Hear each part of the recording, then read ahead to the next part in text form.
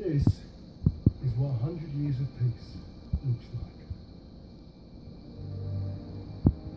It's a lasting peace, made by the wall and the wall alone.